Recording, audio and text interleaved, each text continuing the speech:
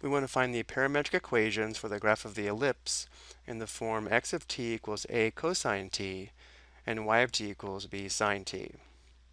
To begin though, we'll write the Cartesian equation or rectangular equation for the ellipse in this form here.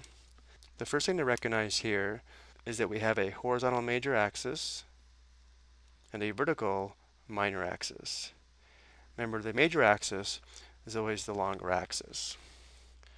So again, because we have a horizontal major axis, a is greater than b, and this will be the form of our equation where the point h comma k will be the center, and notice how our center is the origin 0 comma 0.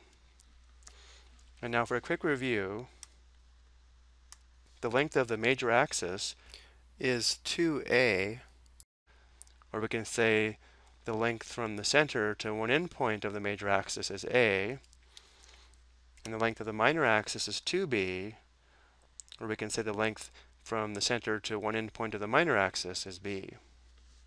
So looking at the major axis, notice how this means that a is equal to 5, and b is equal to 3.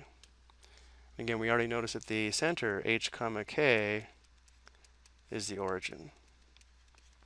This is all we need in order to write the Cartesian equation. We'd have x squared divided by a squared, which would be x squared divided by 5 squared, or 25, plus y squared divided by b squared, which would be y squared divided by 3 squared, or 9, equals 1. And now we need to find our equations for x of t and y of t. To do this, we'll use the trig identity sine squared theta plus cosine squared theta equals 1.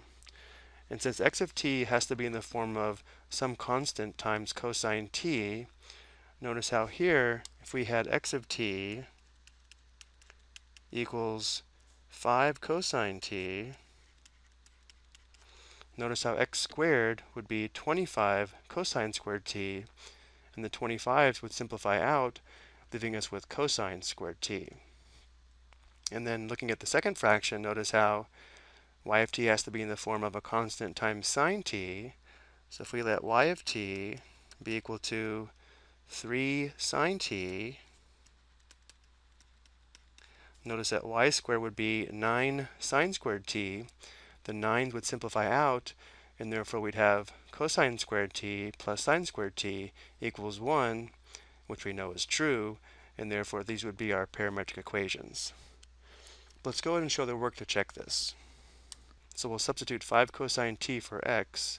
So for this first fraction, we'd have 5 cosine t squared divided by 25 plus, now for the second fraction, we'd have y squared divided by 9, or 3 sine t squared divided by 9 equals 1.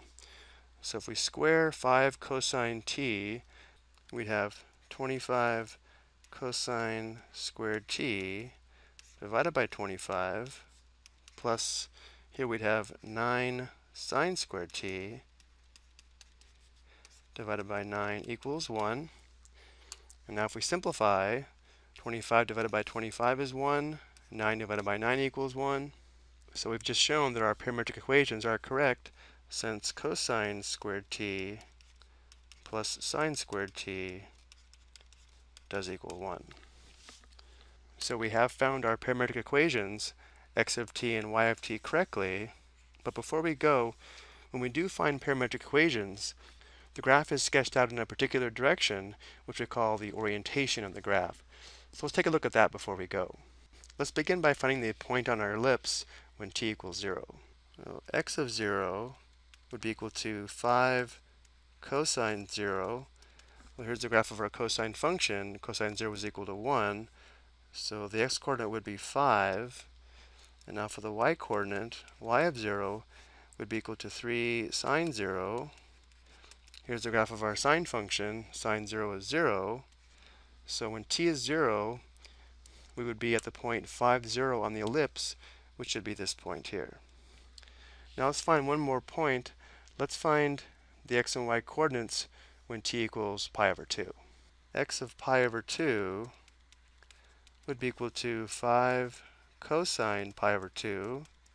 Cosine pi over 2 is equal to 0, so the x-coordinate would be 0. And then y of pi over 2 would be equal to 3 sine pi over 2. Well, sine pi over 2 is equal to 1, so the y-coordinate is 3. So notice when x is pi over 2, we'd be at point 0.03 at this point here. So notice as t increases, the points will be plotted counterclockwise, and therefore using our parametric equations, we say the orientation would be in this direction here. So we can say as t increases, the ellipse is traced in this direction or has this orientation. I hope you found this helpful.